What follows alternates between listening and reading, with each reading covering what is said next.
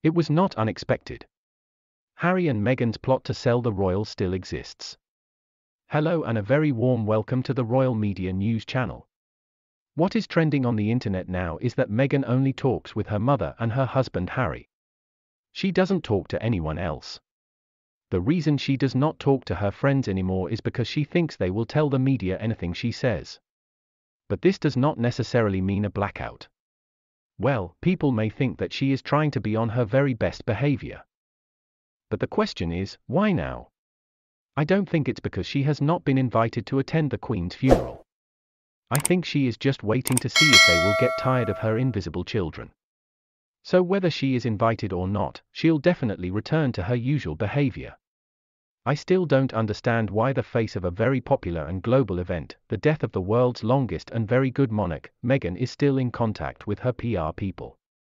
You should also know that the Buckingham Palace walkabout they had with Kate and William was delayed because of extended negotiations between the Wales, Kate and William, and the Sussexes, Harry and Meghan. Harry and Meghan wanted a walkabout all by themselves without Kate and William. Of course their decision was just to please their employers, Netflix and Spotify. They wanted to walk all by themselves until William realized the level of catastrophe it was going to cause, and then he stepped in with the offer for them to join him for the walkabout. The Sussexes had their walkabout while Kate and William kept a close eye on them, the solution everybody wanted. Kate and William were so confident and amazing and they were the ones in charge. What is your opinion on this matter?